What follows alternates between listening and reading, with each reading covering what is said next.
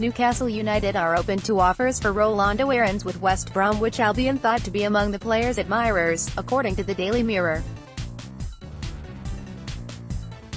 The national newspaper's live transfer blog, Thursday, 1542, claims that the Magpies will listen to offers for their speedy 5 feet 8 inches winger, Transfermarkt this summer even though his contract doesn't expire until 2021. The Daily Mirror report that the Baggies are interested in Aarons but have other options to consider when it comes to improving their squad ahead of the new season. Opinion After seeing his Magpies career stall for a variety of reasons then Aarons would be wise to jump at the chance to play for WBA in the championship next season. The 22-year-old speedster did look like having a bright future at St. James Park not that long ago but after an awful loan spell in Italy at Hellas Verona last season it is time to move him on.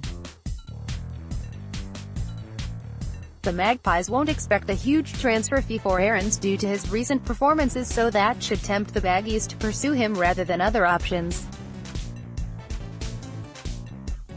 While the Mirror state that the Baggies are among the player's admirers, it doesn't list any other team in the race to sign him. Therefore that means that Aarons should be hoping that he is high on the Baggies list of transfer targets ahead of their season in the championship as that will be his best chance of getting regular football next season as it stands.